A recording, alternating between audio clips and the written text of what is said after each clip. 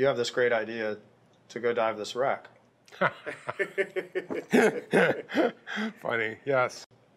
Our mutual friend, George Irvine. I I was um, with George at his van, and George turns around to me and he says, You know, we need to go dive the Britannic.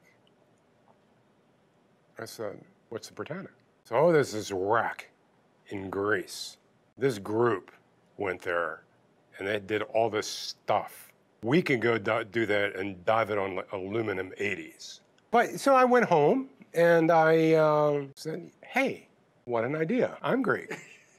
so I um, contacted my attorney in Athens and I said, Nico, there's this wreck off Gia called the Britannic. It's an English hospital ship, torpedoed, mined sometime in, you know, during the First World War. Can you get us uh, a uh, permit to dive it? He says, let me see. In those days, diving was still very restricted in Greece. So he went to the uh, Ministry of Archaeology and and you know, I, I didn't think anything of it for a while. A couple of weeks later, I get this ca- phone call. You can go dive the Britannic. I said, awesome. So I called you. Said, hey, hey, Jarrod, you want to go dive the Britannic?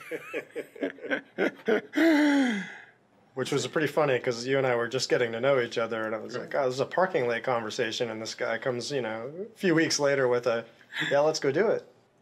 now we have this permit to go dive the Britannic. Now the question comes, well, who is going to go dive the Britannic? How are we going to get money to get to the Britannic?